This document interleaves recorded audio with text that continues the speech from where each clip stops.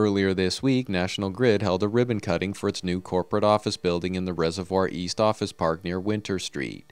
It will consolidate the company's New England operation into a single building with more than 1,800 employees from across the region. Local elected officials agree that it's a great project with perfect timing. This is a great project for the city of Waltham, uh, about $1.2 million annually in increased property taxes, which we uh, really need right now.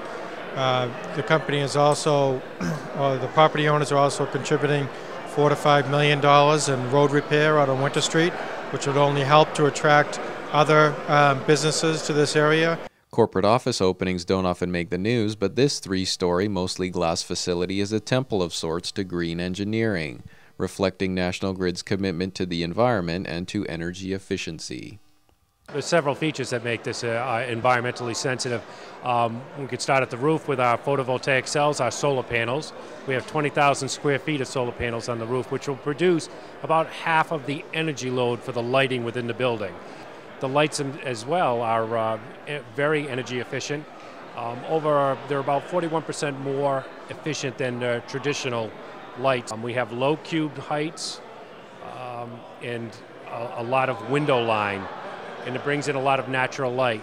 Uh, we wanted to reduce the amount of energy that we needed just for day-to-day daily lighting activities.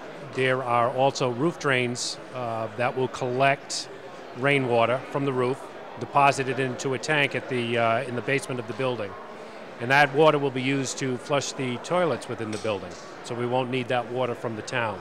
Other features include carpets made of recycled materials, wood from sustainable forests, sensors that turn lights off when not in use, and even urinals that use no water.